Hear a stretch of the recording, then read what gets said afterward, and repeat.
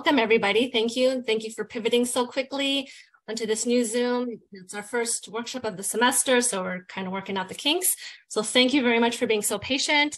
Um, this workshop, it is everyone's been wanting to come to this workshop. It's highly sought out for. So this workshop, it focuses on the academic requirements of a child development permit and what steps are required for the permit application process. And we'll cover the uh, academic qualifications and different routes to qualify. So Monica Robinson, uh, she is our credential analyst at the San Diego County Office of Education. Uh, one of her main jobs is to educate, train, and present to school districts, charters, and local employing uh, agencies um, in credentialing to meet the CTC and CDE re requirements. So she's very knowledgeable. Um, we're so glad to have her here. So without further ado, Monica Robinson. Good afternoon, everybody. Welcome. So you are at the Child Development Permit Workshop today, and um, thank you for having me uh, to the community college world and Donna um, to educate our future uh, teachers and, and uh, leaders here. So without further ado, we're going to start. Um, to allow time and to respect everybody's time, I may be going through the PowerPoint a little bit fast to cover uh, stuff so that we can have a Q&A uh, at the end of the presentation. And um, just for my purposes, do you guys put questions in a chat and, or how does that work? Sure. Yes, we'll go ahead and um, get the initial um, uh, questions on the chat. So if people want to go ahead and and and um, do that, we will monitor it and um, let you know. Thank you. Um, thanks, Monica. Perfect. Okay, so we'll take care of that at the end. All righty, so child development permit types, there's uh, a few different levels and we are gonna talk about all of them today from the highest to the lowest permit. Um, the, the highest being the program director permit, uh, site supervisor permit is the uh, next level down from that, master teacher, teacher, associate teacher permit, and the assistant permit. Um, if there's somebody in the child development uh, employment arena that is asking about an aid, they are not required to hold a permit. We do get that question. Uh, it gets confused with the assistant permit, but we just wanted to throw that in there um, because we do get that question. So this here is pretty much um, what everyone wants to know as far as what these permits authorize. So we'll get a person saying, you know, I'm an associate teacher, what can I do? Or if I qualify for site supervisor, what can I do? So this is a handy dandy little um, cheat sheet per se um, if you look at the different levels and you see the green check mark, that will tell you that the permit holder is authorized to do those particular services uh, within their permit level. So as an example, if we go down to assistant teacher, which is the lowest permit, you'll see that that individual uh, is able to care for children and provide instruction. Um, they're not allowed to do any of the other items that are check marked in red. Um, so anything in red they cannot do, which is, you know, the coordinating of curriculum, providing any type of staff development, uh, being a supervisor over anyone, um, even if it is an aid, and definitely not supervising a site or a program. Um, but it tells you there whether somebody can supervise somebody or not, and if they can provide um, any type of uh, higher level services. Um, so as you go up from the chart, you'll see that the program director has every level um, they're check marked in green. Um, some of the acronyms that are included in this chart um, are internal codes that we use, but are also known out in the credentialing world. Um, you know, well, someone will say, I have a P12E, and you know, someone may not understand that. That is the site supervisor permit. So this is just giving you a snapshot of what these folks can do. And um, if anybody were to ask, you know, it's a handy dandy tool to give them as well as this is what you can do with your permit. So uh, moving on from that, we also uh, are issuing permits that have a school age emphasis uh, attached to it.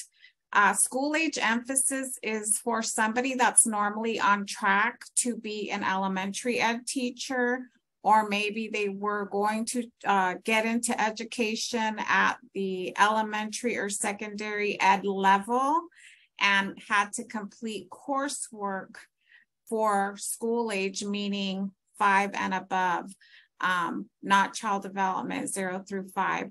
So we do accept school age emphasis coursework. Some of the permits have an advantage where you only have to complete half of the coursework um, if you met the school age emphasis requirement. So it's meeting part of the coursework with child development units and meeting coursework uh, still having units, but with a different age group of students. Um, so that there is a school age emphasis and um, one of the permits, let's say if it required 12 units in child development, if they had six in child development and six in school age emphasis, maybe some education classes that they took for elementary ed or for even secondary ed would count towards this requirement of school age emphasis. Renewal requirements and the validity of the permits, they're good for five years. And um, all permits do have renewal requirements. Some of them require professional growth hours, and then some of them require uh, units towards a more advanced permit, such as the associate. That one can only be renewed once. It requires that 15 semester units of coursework are completed towards the teacher permit. It can be in child development units. It doesn't necessarily need to be child development units because general ed units are also required for the teacher permit, or it could be a mix or match for the uh, 15 units, as long as they are, um, you know, not, not in the non-remedial and that they are C or higher.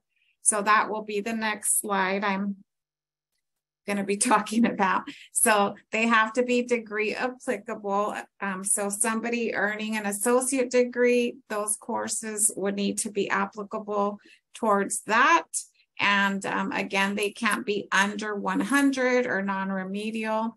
And the course grade has to be C or higher or a pass credit is okay as well. And then the important thing is that they have to be completed at a regionally accredited college or university.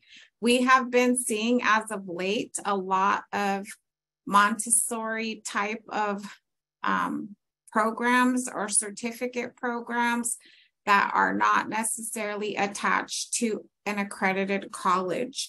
And a lot of people um, get turned away. Unfortunately, uh, we're not able to use those credits towards a permit. How do you know about these accrediting bodies? Um, typically in California, it's usually WASC accreditation. Um, there are other accrediting bodies throughout the different states in case somebody did coursework in another state.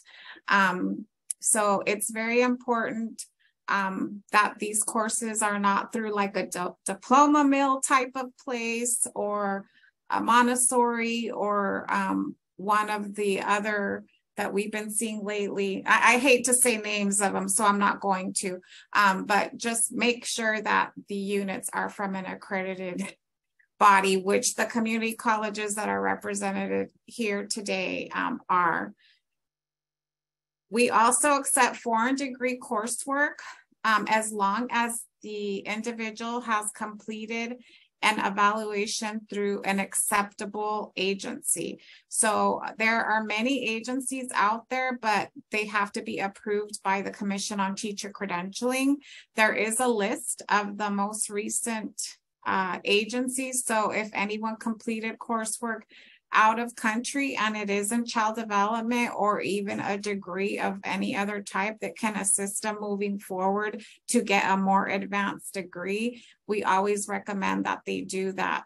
Um, what we do is we provide the list and then from there, what they charge, what they require. Some of them require originals, some of them translations. They're all different. Um, we can't help an individual until that happens until we have the report in hand to be able to guide and recommend what they can do next. Um, there are times that some people have child development coursework out of country, and then of course the degree is going to do wonders for them. So um, if anybody does have foreign degree coursework, we always uh, ask that they get this done. What is core coursework? You're going to hear core coursework. The core coursework for child development permits are three particular classes that are a requirement for all of the permits, um, associate and higher, depending on the route that you take. But uh, usually option one will require that you have the three core classes, which are usually the intro, uh, the child growth and development course, the child, family, and community, and a programs or a curriculum course. Um, those are the core courses.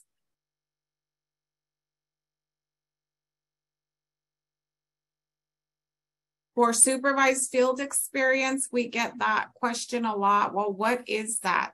Is that actual hands-on in the classroom experience? And um, unfortunately, no, it is a course and it is usually classified as a practicum or student teaching or a lab. And it does have to be supervised by staff from a regionally accredited college. And it typically, um, to meet the requirements of a child development permit, it must be three semester units or four quarter units um, or more. And then again, like I mentioned before, it can't be actual work experience in the classroom. It has to be a course with courses, uh, semester units or quarter units earned. Um, I've also seen this requirement as an internship um, course, depending on the college. And then if somebody is trying to use school age emphasis, if they were an elementary teacher and they did student teaching for their program, that can count as well for the supervised field experience class. Monica, if yes. I may go ahead and just um, intervene and ask this question at this point, um, if you can go back first to the first um, uh, one before this, the supervised field experience. Um, and uh, the, oh, I'm not supervised, but the um, core classes. Yes. I have a lot of questions, usually on child growth and development. Um, would an infant toddler development also be, um, uh, you know, we usually have traditionally 101 and 175 is our infant toddler development. Will you accept the infant toddler development class for the child growth and development? That's a great question. Um, I have been doing this for over 20 years and I've never seen somebody try to use the other class. I I would try it. Um, definitely, I always see the child growth and development course. Um, I would definitely try it. It would be the ultimate say uh, for CTC on whether they would accept it. Um, but it sounds like it would be acceptable because it does cover, you know, birth infancy and all of that. Um, okay. That's a great question. I if you want to save that question and I can um, contact the commission and see if they will accept it, if we get an answer and um, get back to you in the field on that.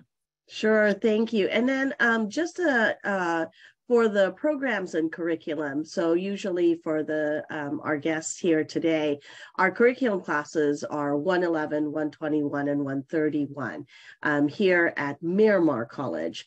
And so um, that's uh, 111 is music and movement. Uh, secondly, the um, art class is 121, and third, 131 is um, language, science, and math.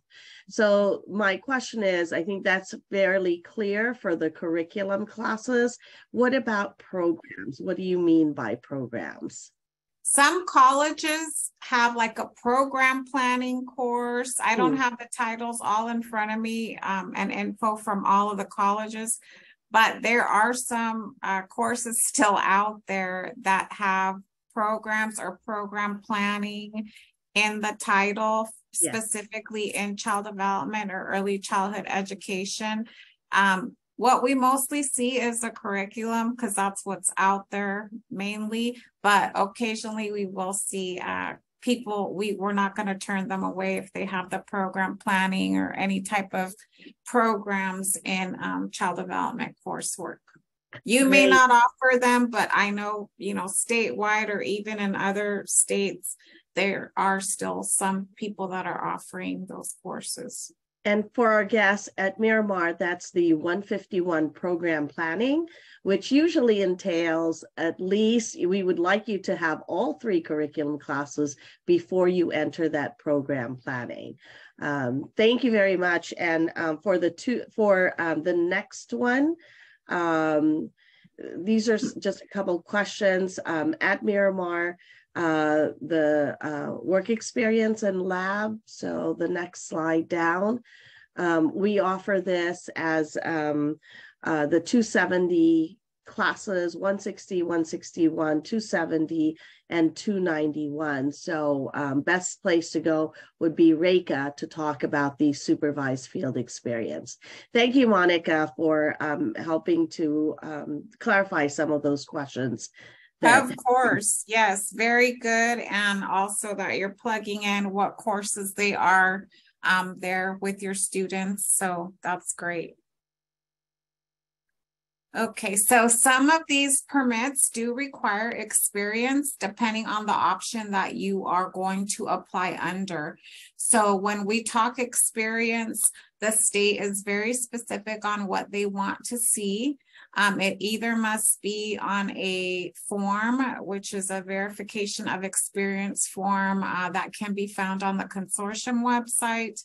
Um, there are a few versions of it floating around. Um, what they will accept as well is an official letter on letterhead with an original wet signature. If it's not an original wet signature, they will accept Adobe or DocuSign but they're very specific on this. Um, so um, if they need 50 days minimum experience within the last, you know, three years, it has to be verified by one of these ways. Um, some folks will try to use their pay stubs or, you know, other things. Unfortunately, we're not able to accept those. Now, family child care experience is honored and accepted um, as long as the individual does have a, a license under the Department of Social Services, even if their license is expired, but the experience was during the validity of the license, it will be, you know, accepted. And then, of course, depending on the um, level that they are applying under, there is certain hours that they must meet. And some people mix and match the family child care experience and the actual experience. Um, so there are forms. Um, one is for a small daycare, uh, family child care, and one is for a large family child care uh, home license. And the site supervisor and the program director applicants must hold a large family child care home license in order to uh, use this option.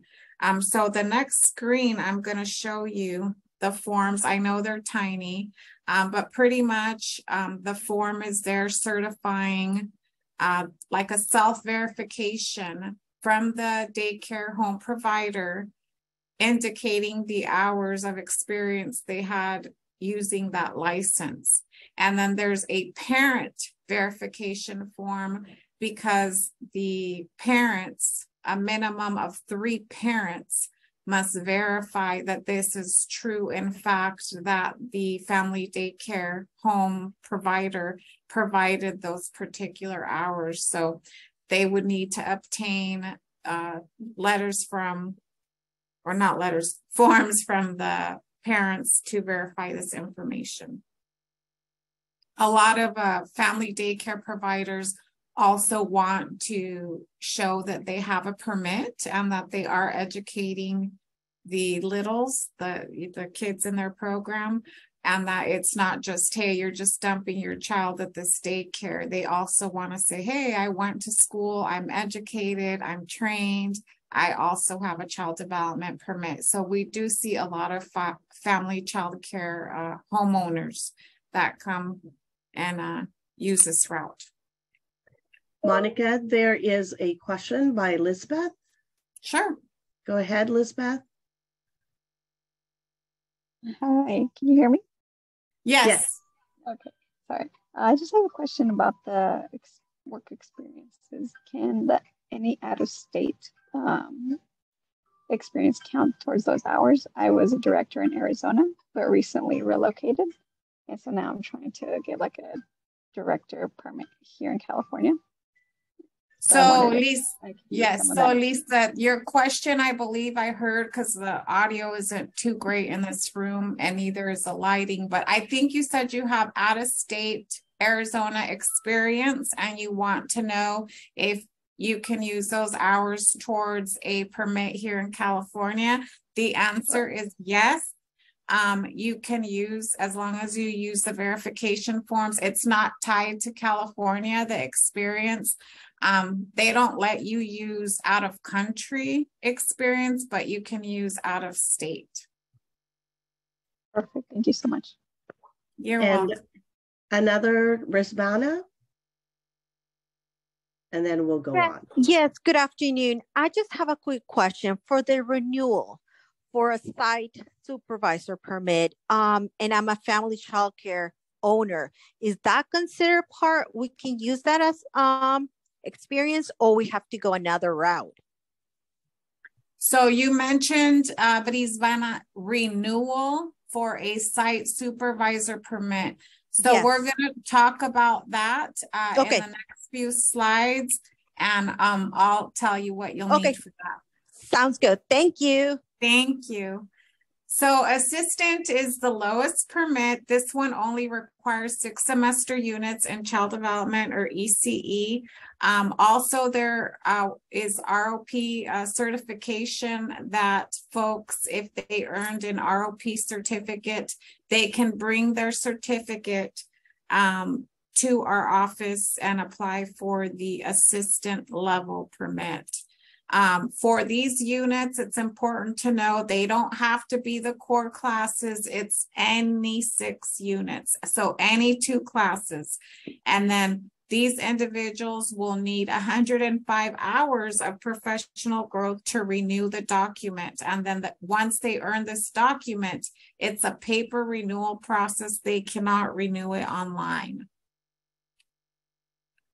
For the associate teacher permit, this one is where you start seeing that the core classes are required and it's 12 semester units total that are required, including those three core classes that we talked about, the curriculum, the child family community, and the child growth development. For option one, you would need the 50 days of experience in the last two years completed uh, on either the letterhead or the form. And option two, there is still the uh, option if somebody gets a National Child Development Associate uh, credential through CDA, they can submit that, uh, the certificate, and I'll show you one on the next slide. um, in order to get the associate teacher permit. Going that route, we would not be looking for the individual units. It would just be the matter of the CDA certification. And then for renewal, for these folks, uh, it's not professional growth. It's they have to complete 15 units towards the ish the the next level um, so like I said earlier, it doesn't have to be in child development. It can be general education as well, because that's working towards the next permit. And then if somebody, let's say, does not meet the 15 unit requirement to renew this document, they can downgrade to an assistant.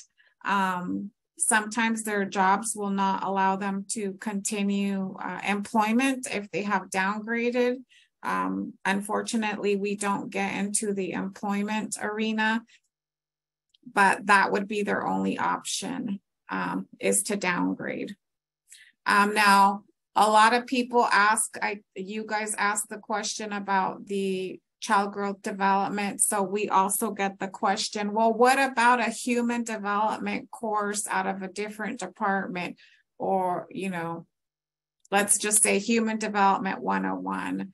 So we have to ask for course descriptions and we will advise if we think that it's going to work.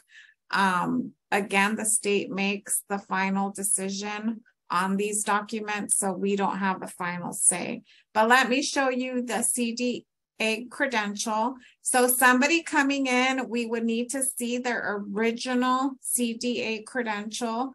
And that's how they would qualify for the associate teacher permit along with the fingerprinting and the forms and such, but we would not need transcripts for these individuals. So here's a screenshot of one. The next level is teacher. Now for teacher, uh, we're jumping now from 12 units to 24 units. So also including those core classes. So with those core classes, a total of 24 units, and then that's where the general ed comes in. They have to hold 16 semester units in general education. And that goes back to what I started the presentation with on C or higher. It has to go towards a degree and all of those things, but I'm just reminding you. And then this option, the first one, option one, requires actual class experience 175 days. And then the, the next option, which people will ask, well, can I mix and match? So let's say somebody has an associate degree in child development, but they didn't have the supervised field experience course that's required for option two. Then they'll turn around and say, well, I have the degree in child development, I don't have the course for supervised field experience, but I have the 175 days of experience. We cannot mix and match, unfortunately. So either you have to qualify based on option one or based on option two. Hopefully that makes sense. So um, I said some of these things um, earlier, but I will reiterate them. So for the ECE child development units, they cannot be used to meet the general ed requirements. That one I did not say earlier, but people will try to say, well, I'm going to use this class. It's a general ed class, but it can also fit in to child development class. You can't double dip. So I'll just use an example. Um, American Sign Language. Somebody's trying to use American Sign Language as a general ed course and they're also trying to say that it's a curriculums, a curriculum course for child development. It really isn't, but people try to do it all the time and mix and match. You can't do that. Or they took a music class and they said that it involved children. It's out of the music department and they're trying to double dip. Some of these classes, it has to go one way or the other. Um, for the supervised field experience, if someone has two units, um, I've seen it happen before if the college writes a letter from their department chair and explains that maybe it was only two units there, but they had a lab or they had another component and another course. um, that they will usually accept that. Um, quarter units, we have a semester unit converter in our credential information guide um, for most folks that are in the credentialing world. Um, but most of the classes that I'm seeing are usually in semester units, um, unless somebody's going to a four-year college or university. So I wouldn't worry so much about that. But if you had questions on that, we could always talk about it. Um, for the teacher permit, the only way to renew that document is 105 hours of professional growth. Now, if somebody's still going to school to earn more units, they don't necessarily have to renew the permit if they qualify for another higher level permit, unless they are just doing the coursework and say, well, I don't ever want to be a site supervisor, I don't ever want to do that. I always encourage people to go for the highest level permit and they can work in the capacity of anything underneath it. But there are some people that just don't want to obtain something higher, or maybe they're getting some type of funding or grant. Um, they want to, you know, make sure that they're getting the monies, and and some of them do upgrade for that particular reason. Um, so it just depends on the individual. We can only guide and and suggest. For the master teacher, it's the very same requirements as teacher. The only exception is that they also need a specialization in one area and they need the adult supervision class. So the same thing for teacher, the 24 units with the core classes, the 16 units in general ed in the specific areas. You must have one class in every area and then six semester units in one area of specialization. The most popular one that we see is infant toddler. So what does that look like? It would be two courses in the infant toddler area.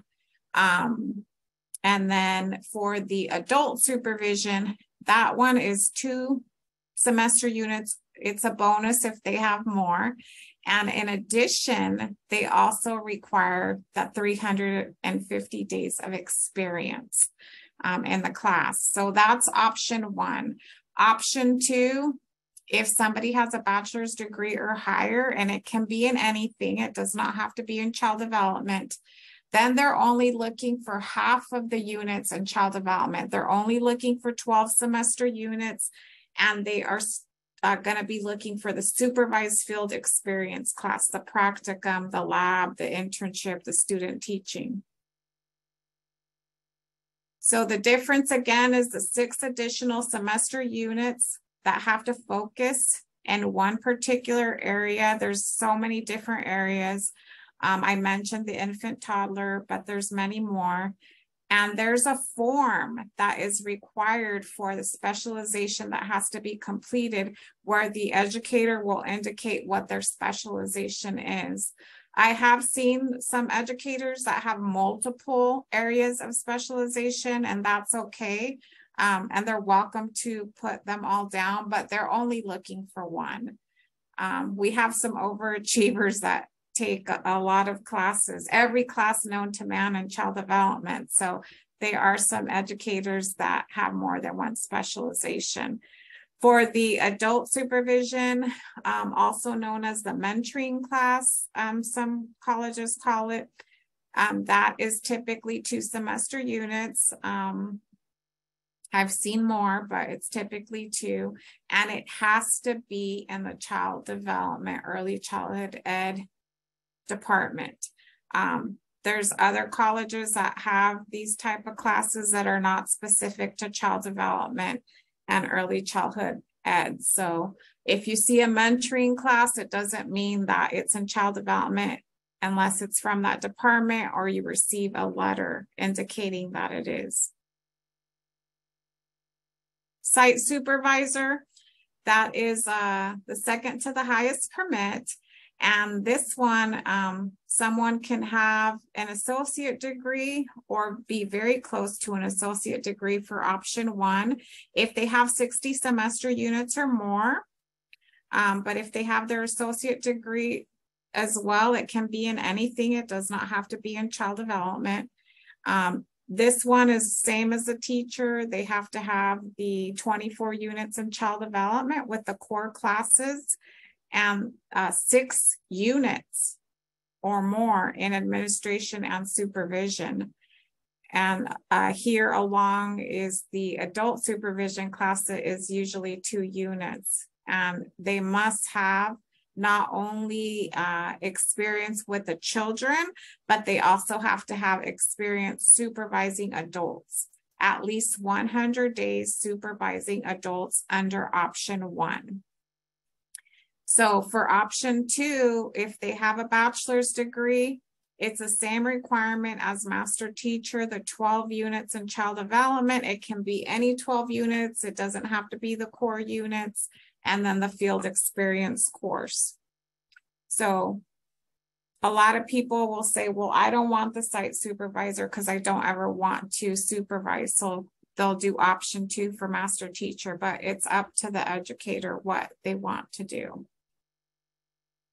So for the administration and supervision units, it has to be six units. It can't be under six units or the state won't honor it. One course must be introductory level and the other one is advanced. And then typically the content will include um, administration, management, supervision uh, within the child care and development program. So some people will have administration or supervision classes as well, but they're not in child development. So it's very important that the content is with child care and uh, development program. When they say experience supervising adults, um, that's a requirement for site supervisor under option one they'll say, well, who, you know, what's the definition definition of supervising adults? So I say it can be supervising teachers, assistant teachers, even parent volunteers that you have overseen.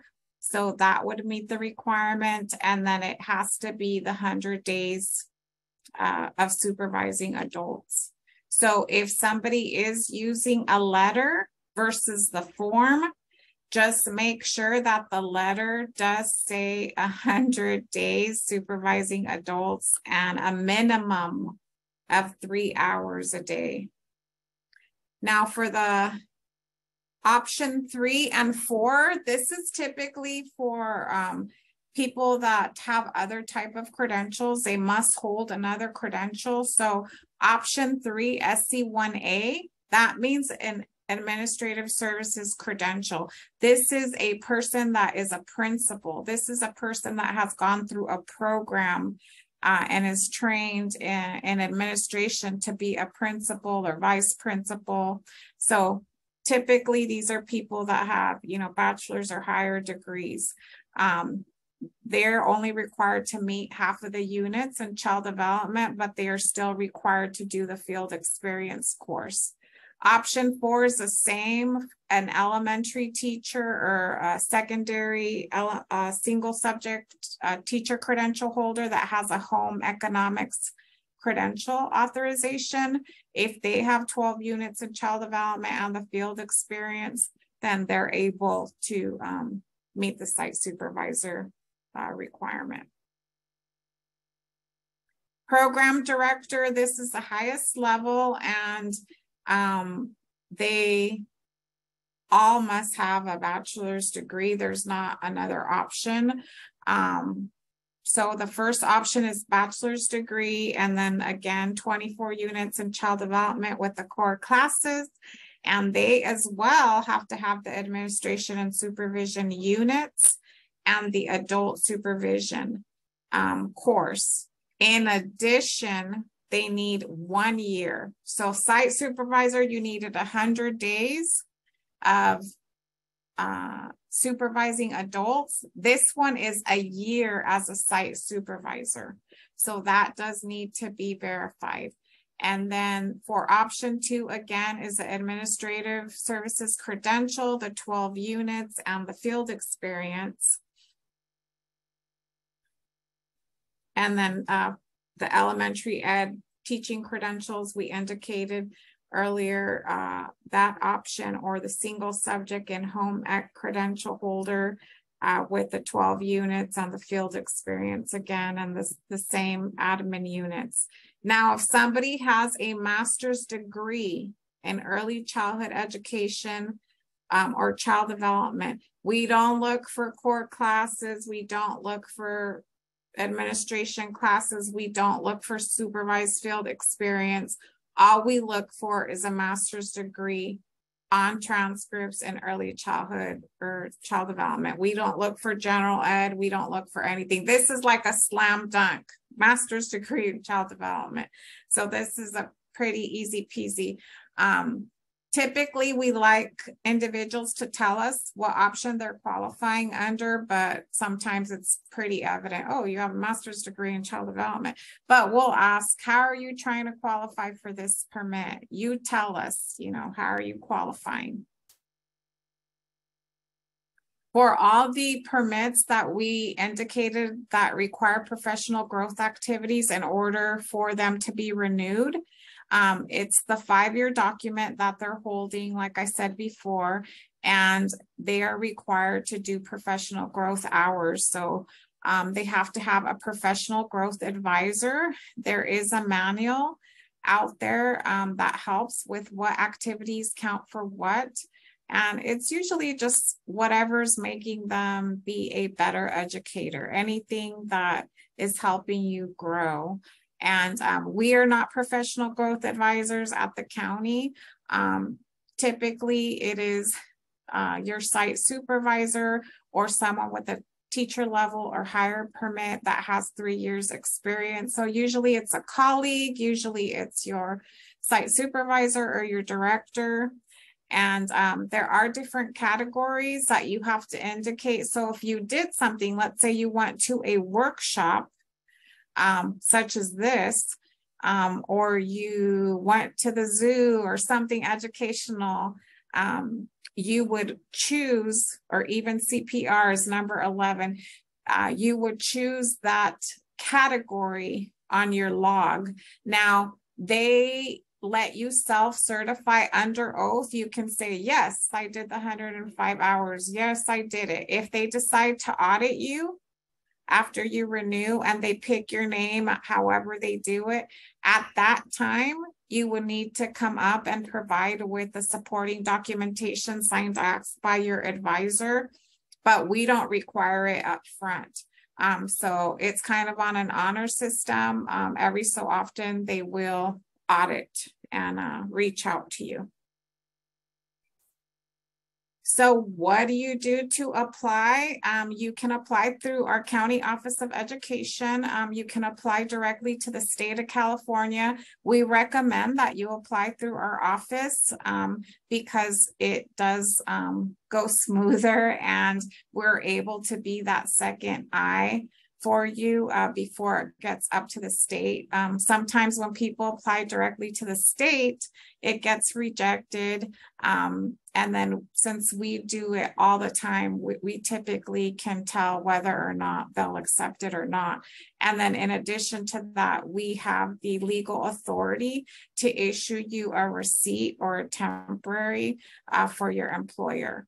So uh, what is required and what's the process? Um, it's gonna be a hundred dollar money order or cashier's check for the application fee. We'll talk about the consortium in the next slide that um, helps with the funding, but it's $100 if you're gonna be paying for it on your own. And then the application form uh, 41-4, fingerprinting is required. It's done electronically through LiveScan and the form required for this process is a 41 LS form, which is uh, DOJ and FBI prints that are uh, for the Commission on Teacher Credentialing for the purpose of obtaining a permit. So that's very important. People will say, well, I, you know, fingerprinted to be a notary, or I fingerprinted to work at the district, or whatever it is. Those are separate prints. These prints are for the permit and solely for the permit. We require official transcripts. We um, must see the originals. They can be open as long as they're on the college paper with a stamp, seal, or embossment. We do accept electronic transcripts directly from the college to our office. And then verification of experience, depending on the permit or the route that you are applying under, it may or may not be required. And then in addition, clearinghouse fingerprints, if it's for a school district, they will typically want you to have that. Um, but if it's not for a school district and it's for a private or someone that's not tied to a district, then you wouldn't need those fingerprints. More likely, you would need their form to get employment fingerprints. And then the temporary county certificate um, is the receipt. Um, it can also be um, activated if somebody has a certificate of clearance or is upgrading from a current valid document to a higher level document. Um, so we do issue something, uh, you walk away with something from our office. As far as the funding, uh, that would waive the hundred dollars. Um, at this time, the consortium does have monies and funding is on a first come, first served basis. So we will continue to send applications through the consortium. Uh, we do ask that educators come in with the paperwork. We don't have the ability to be printing out these forms. Um, so currently they're paying the $100 fee for all levels. Um, and they will reimburse for partial funds of the fingerprinting um, if it's a first initial permit. Um, so we do ask that those forms uh, come in with the educator at the time when they come apply. Now, for the electronic transcripts, if they are going to go through the County Office of Education, through one of our offices, um, we ask that the transcripts come to us as well. A lot of people will say, well, I sent the transcripts to the consortium, but if we are processing something, unfortunately, we have to make sure that the educator is academically eligible for the permit. So we do have to see originals as well for our own policies and procedures and processes. So uh, again, the consortium does offer um, to pay for the permits, for the reimbursements. Um, they also have different types of programs. Um, from my understanding, they assist as well with professional growth advisors and course lookup. Um, so there's a link there for them and their phone number and their email. And then um, Typically, if they run out of funds, they'll send a letter in the mail stating, we received this, we have no more funding, you'll have to resubmit with the hundred dollars. Um, but they also post on their website and we're always checking the website, any updates and changes to the funding.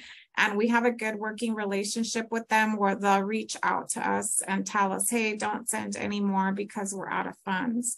So just a note for you guys what is needed when somebody is upgrading. So somebody that has a valid permit that hasn't been expired for over 18 months, it is a paper application.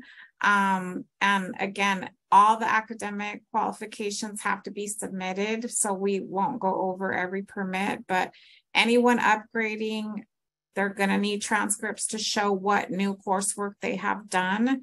And um, some of the permits indicate that if they do it within the three years of the permit date issuance date, that they only have to pay half of the fee. If the document doesn't say that, then unfortunately they can't come in with just a $50 money order.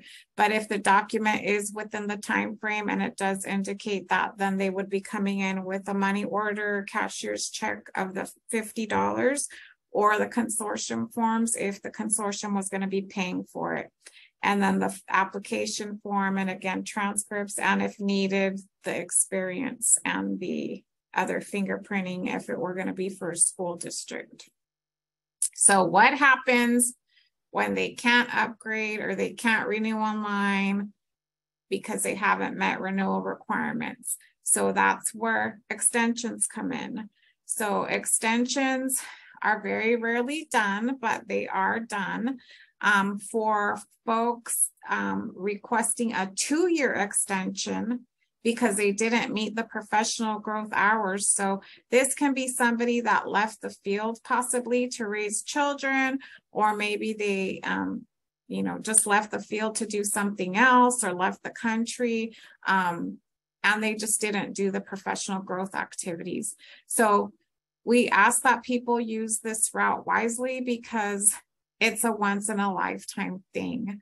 And associate teacher doesn't qualify for the two-year extension, they can um, possibly ask for a different extension, um, which we'll talk about further. But um, pretty much what the educator would need to provide is just a letter saying, I'm requesting my once in a lifetime two year extension um, for my professional growth hours. And then during those two years, that educator would then do their hours of experience. And once they've earned them, then they can go back and renew it. Um, just a note, so if they took a three semester unit course, um, let's say they're taking coursework to try to, you know, get it out of the way quicker within those two years. Uh, three semester units equal 45 hours. So just so you know that. And some of you may already know that. Um, so the medical appeal, this is for any level.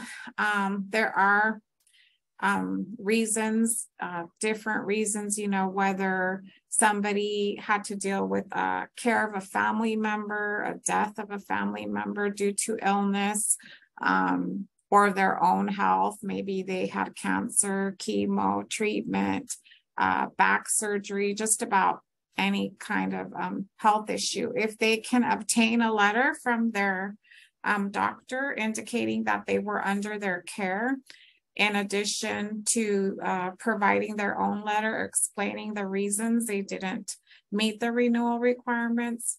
Um, so doctor's letter, any supporting documentation, if they are taking care of a family member um, because they're a primary caretaker, they also need a letter from that individual's doctor. So let's say I was taking care of my son or my husband, I would need a letter from their doctor. A lot of people don't like to share the medical stuff, but unfortunately for this type of extension, it is required. The other type of extension is just failure to do it. Um, no attempt to do it. Um, usually we see this for associate teacher um, when they have to use earn the 15 units towards the next level. Um, so they would need to write a letter indicating why they didn't uh, do the units um, or the coursework. Um, I know during COVID, some of the coursework wasn't available. We're a little bit past that, but you know, it is a five-year document, so it did it did impact people.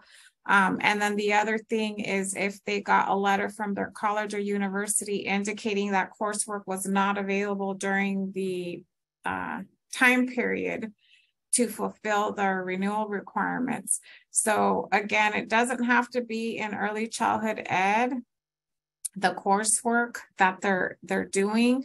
People are fixated on oh, the units have to be in child development. No, they do not. They can be child development and general education, or, you know, pick one or the other or mix and match.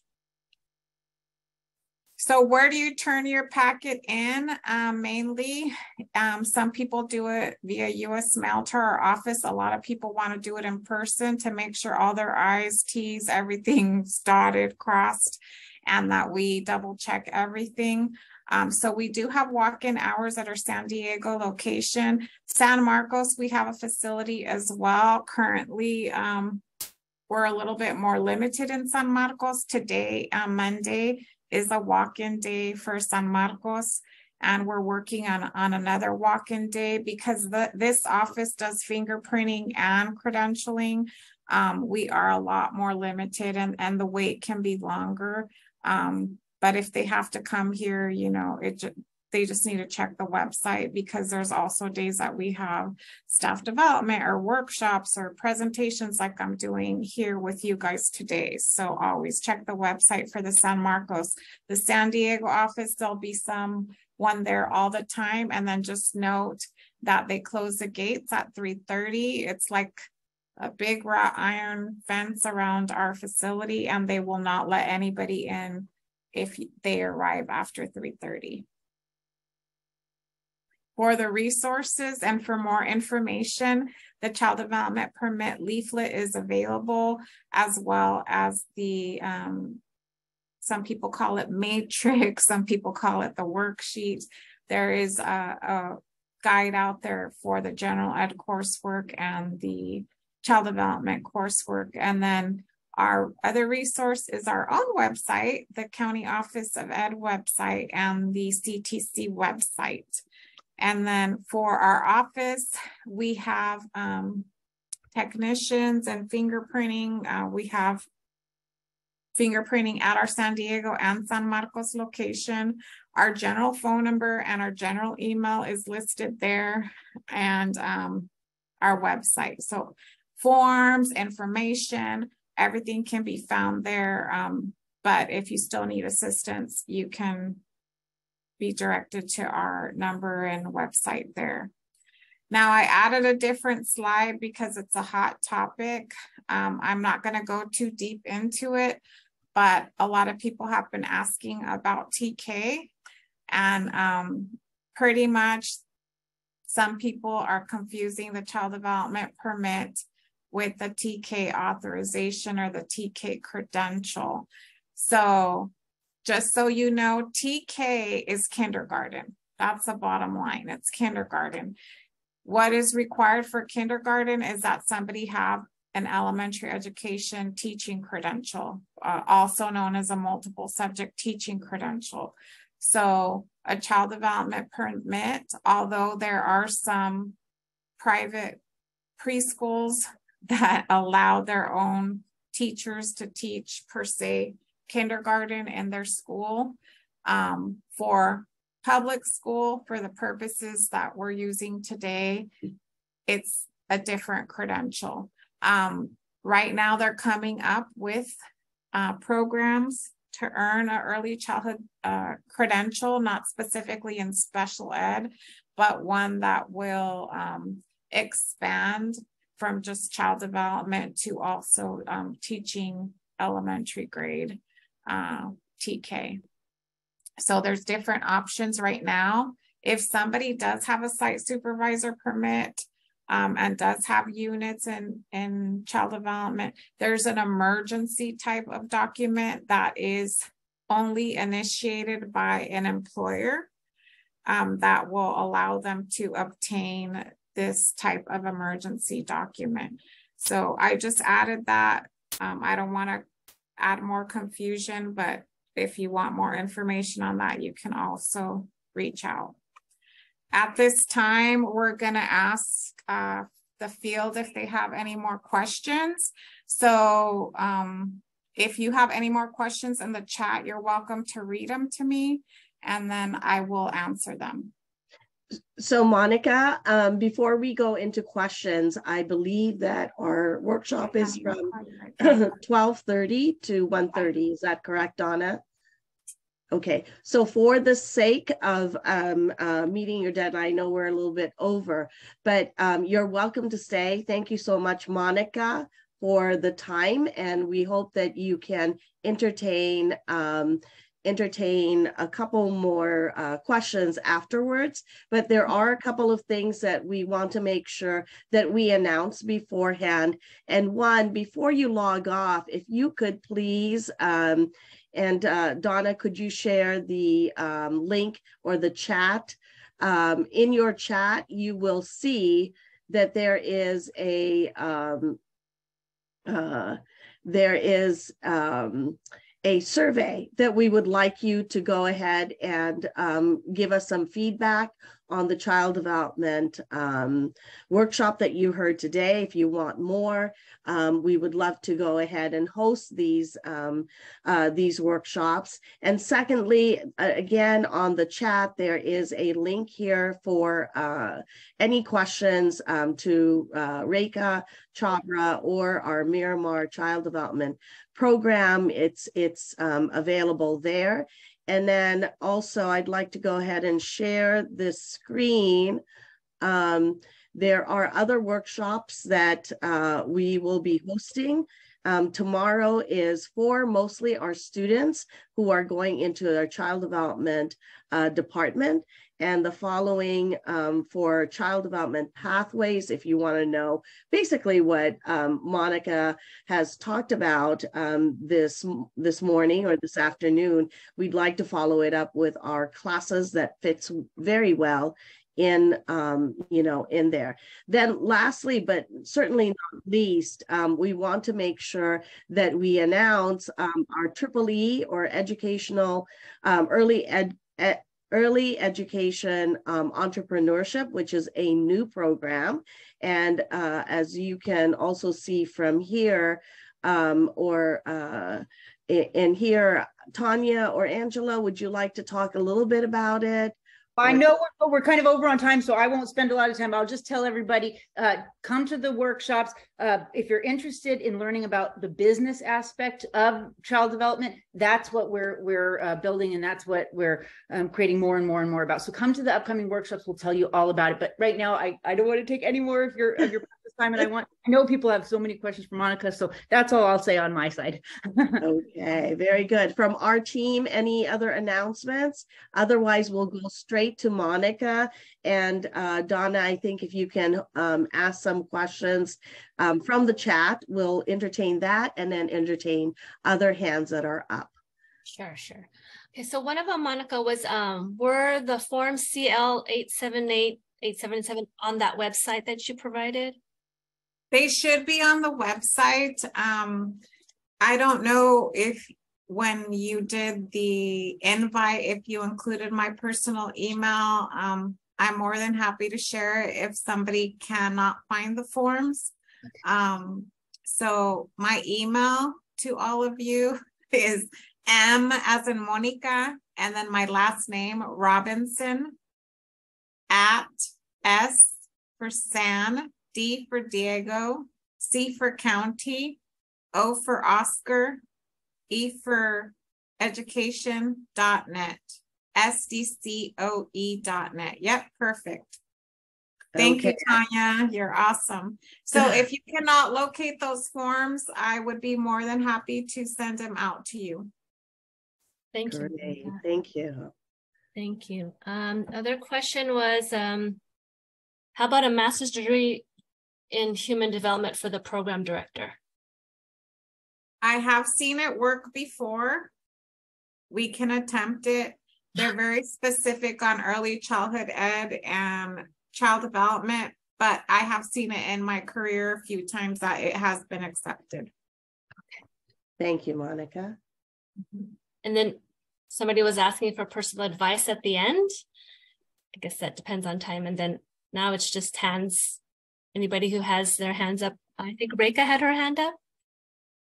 Hi, Monica. Thank you for this fabulous information. You know, we all need it. And I know, I know I've been working with the students on the permits. I still have a couple of questions if I if if you may have time to answer it. One yes. is uh, when they receive their temporary and if they get flagged, right? They, that they lack this or this information was correct or they lack this thing when it comes from the state at that time, during that period when they are in the process of correcting that deficiency, is their temporary permit is still valid? Yes, there is an ed code that states, I don't have it at the top of my brain right now, but there's an education code that indicates that the temporary is still intact until the CTC exceeds the 60 days, or if they don't follow up and, um, you know, submit whatever it is, that at that time it is invalidated. Um, so we do not invalidate anything. It's still business as usual. They still hold the document unless you know, they don't come up with what they need within the sixty days. So Ed Code does say that the receipt, the temporary still stands for that level permit. Perfect, thank you. Um, I have another question, which is about the double dipping. Thank you for clarifying that piece for our students. Um, um, double dipping, when it comes to that, I wanted to ask you, our associate's degree already have sometimes, you know, those supervised field experience units that we are looking for. Will that be considered if they have done their associates and it's part of it? It's not a double dipping, is it? It's not a double dipping. You would be surprised how many people have associate uh, degree or even a bachelor's degree that never did a practicum or student teaching or a lab or any work experience. You would be surprised how many do not have it. And at that time, we have to tell them you need to go take that class um, if it's not posted, you know. So yes, there that's not considered double dipping. Thank I, I have a couple of more, but I want to give platform to other people first, uh, Professor Lubeck, and be mindful to the time for. Yes, um, I know Lenora had a question before. Good, you, would you like to go ahead? Oh, hi. Yes, please. I just was wondering, um, to take, if you take that supervised field experience class, isn't that like full time during the day? And if you're already in a full time job, how do you do it? Yeah, unfortunately, you know, for student teaching type of courses, for elementary ed teachers, secondary ed, as well as for this particular course, my understanding is that it is during work hours. Um, I don't know if any of the programs out there have evening, Mm. but that would be a call a college question on what's available. My understanding it's only during business hours. Well, That's- I worked for. San- I'm sorry. I, Go I worked- ahead. thank you. I work for San Diego Unified School District and I, um, I'm, I'm one of those people, that Monica get- got confused. I thought I was in a Zoom with you guys to talk about the ECE teacher permit, the TK permit basically is what I'm interested in. And so I took uh, like nine units as soon as I heard about that. And um, I think I need three more and I have a couple of elementary school classes that I thought might be usable, but um, I don't know. I guess I'll have to talk to San Diego Unified and find if, out if there's any way I can get the. You're welcome to email me, um, Ms. Chavez, on what you have and, you know, maybe if you want to scan me your transcripts. I don't advise everyone on the Zoom to do this, but I'm just saying, um, we do it on a case by case scenario. And typically our, our process is if you're going to be applying for something that we do the evaluation and we look at it. But it sounds like you're an employee. I don't know if you have an elementary credential or not. No, I just have a bachelor's and a substitute teacher permit, but I work full-time as a para educator. Yeah, So- unfortunately, that requirement does have to be met and it's a loss of time and a loss of wages and it's just the way it is. Um, I'm not a college, so I can't, you know, advocate for another way. Well, I can take, I can take the course in the summer. So in, um, so uh, Lenora, let me answer it from the college level. Um, we have the course 270, which is a work experience and actually, um, you know, to get the three units, uh, I don't, I, there's a number of hours, more than 150 hours, I believe. And so um, to get the three units, you can enroll at any of our community college or here at um, at Miramar. We have one that's going on on the 12 weeks. Um, and you have to be in a center for um, uh, children, um, you know, birth to five, right? Um, pretty much to be able, and, and if you're working there already, then that's not a problem. But yes, there's a number of hours per semester that you would have to complete to do the work experience, the lab experience, you know, either at your place of work or somewhere in the community or at the Miramar Child Development Center. We welcome you, but that is a loss of time Um, so from your regular work. So I hope that I finished, uh, that I was able to answer that question for you. You can um, actually Kyoka Hashimoto, who's here, part of our Triple E team. Um, if you can go ahead and put your um, uh, email as well as mine and um, uh, Kyoka so that you can contact us for more information about that. So um, we'll go ahead and uh, I see two more um, uh, questions, um, hands here. So we'll go with Ansari Farhat first and then Jacqueline. Oh, hi.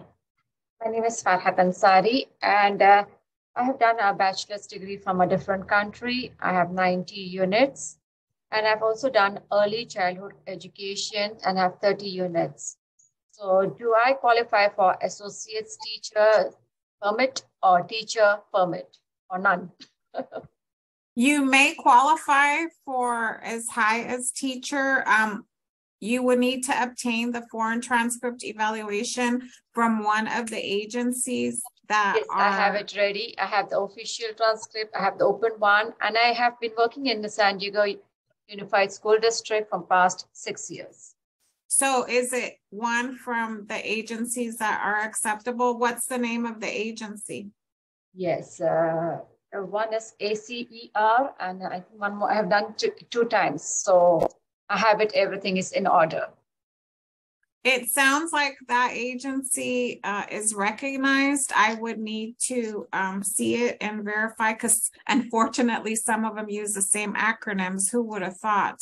Um, so I have told people in the past, yeah, that should work. And then they come in with one and the acronym, acronym no, no, no. is exactly no, no, I, I, submitted all of these. I did the evaluation and then that's how I'm working in the school district, in the San Diego school district. So I will send you an official one also and I will I yeah, have all come, of it. Come and see us. Come and see us with all your supporting documentation. Um, and then if you do have the child development units, um, it would probably, if you don't have the core classes required for teacher, you know, or even associate teacher, that where that may be where your hiccup is. I don't know if you've been evaluated before, but um, come and see us. Our office hours in San Diego are eight to three thirty. Uh, we're open during lunch. They will not allow anyone in the gate after three thirty. No, they say I have to do some classes. Like uh, they said, I have to take some classes in maybe curriculum or history or mathematics, or maybe those three semesters of supervised field work.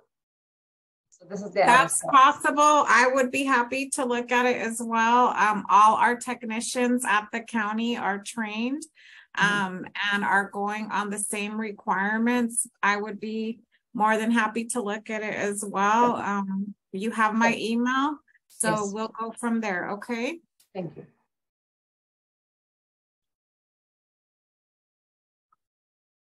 Professor Rubik, you're, you're muted. I'm so sorry. Thank you again. I'm sorry for your question.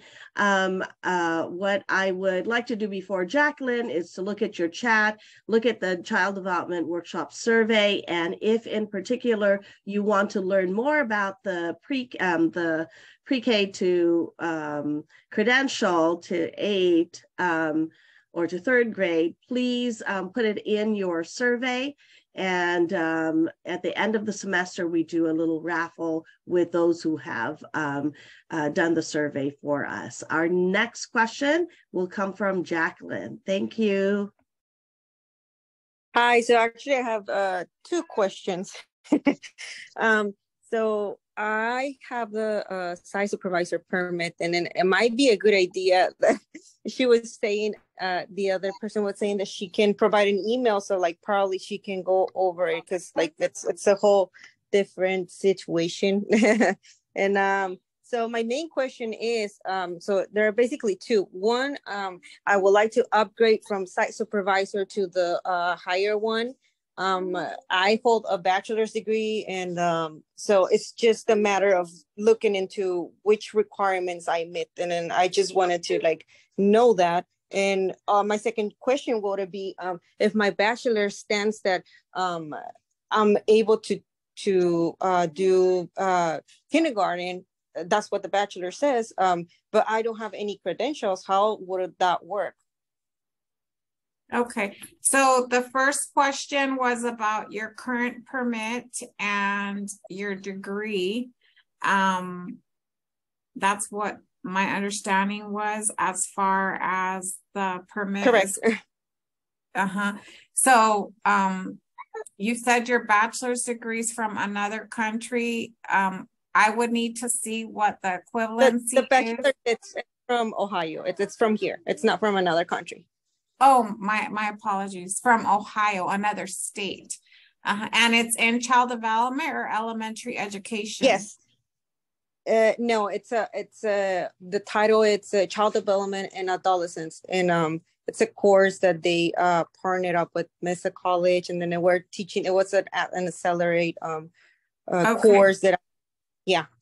So just with that being said, and not looking at anything, it sounds like to upgrade to the next level, what you're wishing to do, is that you probably met all the academic requirements. You would just need the additional uh, supervising adults, the 100 days of supervising adults.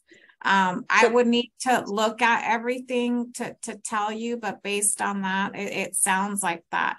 And then as far as um, your other question, um, sorry to interrupt. For the first question, um, I'm actually an assistant site supervisor. And then so obviously once the site supervisor is not on site, I'm in charge of, and it's been uh, three years that I've been on this position. So probably that would account. Um, you're, you're still supervising, but it has to be verified for the, I think it's a hundred days. I don't have it in front of me. Um, it sounds like it may work. I mean, you can send me a, a separate email, and then for the upgrade, you know, you would have to prove the the supervision hours because it sounds like academically you have those. And then for the TK, the reason you can't do that is because you did not do an elementary education program. You said you did a bachelor's in child development program. If you're interested in obtaining the elementary ed or the new uh, credential that they're coming out with, you know, we can give you information on that um, if you email me. Do you mind if you repeat your email more time? And thank you for your patience. I know there's a lot of questions. I try to be fast and, and quick so you can understand. But yeah, if you can repeat your question, I'll email you for sure. Yeah, Jacqueline, um, just to, uh, it is on the chat um, and we will um, put it again. So Donna, if you could copy and paste it so it's at the bottom of the chat, um, you can find it there, Jacqueline. Is it Pansari? Can you see it? Can if you click on the chat. Yeah, I'm on the chat, but uh, there are several emails. M Robinson at SD um, SDCOE.net. Mm -hmm. Right. Got it. Yeah, it's uh, there are several emails on the chat though. Yes. I oh, thank you. you got it. You're well. Yep. You're very welcome. And just so that people who are still here, um, thank you so much for um, still being here. Um, the first bat, the first um, point I think is to go to Monica Robinson, and once you know what you're eligible for, what your um, degree and uh, will be eligible for as far as the permits, um, please go to Monica Robinson.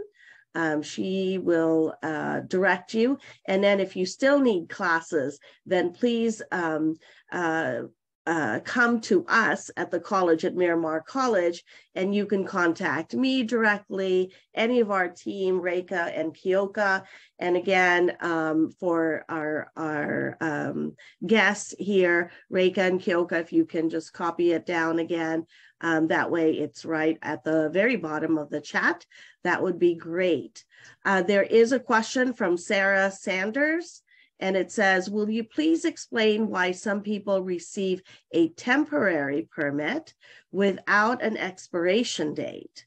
Some temporary permits do have expiration dates. What is the difference and how do we obtain a temporary for work while we wait for the permit? So um, pretty much there's a law that um, only allows us to issue a real temporary. The temporary is a receipt as well, but an activated temporary is that the educator must possess a certificate of clearance. A certificate of clearance is an extra document that has to be applied for online at the CTC website that coincides with the fingerprinting done for the Commission on Teacher Credentialing. So the law says that county offices cannot provide a temporary if they do not hold a valid document or a valid certificate of clearance. So that's why there's no dates there. Most preschools are not uh, part of a public school system, nor they are uh, tied to our payroll system. Um, and they just use the receipt if CDE uh, audits them.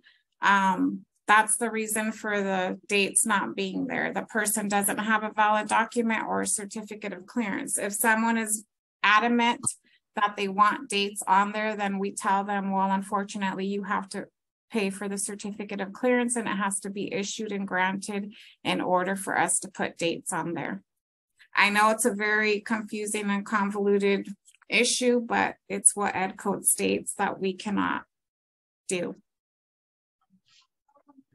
Okay, and Kyoka, I know you had some questions. Right, um, I have one here. Um, can I upgrade a permit anytime I want, or is there a specific time frame that I can upgrade the permit? For example, if I achieve achieved uh, the teacher permit and kept taking classes to upgrade my permit to master teacher, could I apply for upgrading to the master teacher permit while working as a teacher once I completed the requirements? So anybody can upgrade at any time. Um, so let's say they just got their permit, uh, you know, January of 23, but in the summer they finish more coursework uh, to upgrade to the next level. They don't have to wait until the other one expires. They don't have to wait the five years. There's not any date. Is if you are academically eligible for the document you and have met requirements, whether it's unit requirements, experience requirements, it can be done at any time. Uh, and a, okay, and a follow up is how much more dollar is the certificate of clearance? Sorry, going the back. Cert the certificate of clearance online is fifty dollars, and it's a two dollar and sixty five cent charge uh, credit card charge. So total fifty-two sixty-five. I don't see any more hands and um uh And what- yeah, and, and I have to go. I'm being called into another meeting. Okay. Sorry.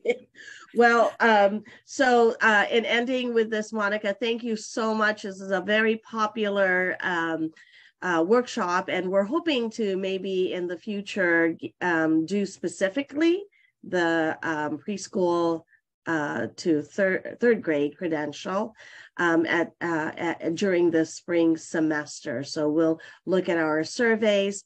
Um, for the rest of you, uh, our, our team um, will stay for just a little bit longer. So if there's anyone else who has any questions, please, um, we will say thank you again, Monica. Uh, yes, thank you for having me. And I hope you guys all have a wonderful day. I'll be in touch, Thank- Monica. Thank you. Thank you, Donna. Take care, everybody.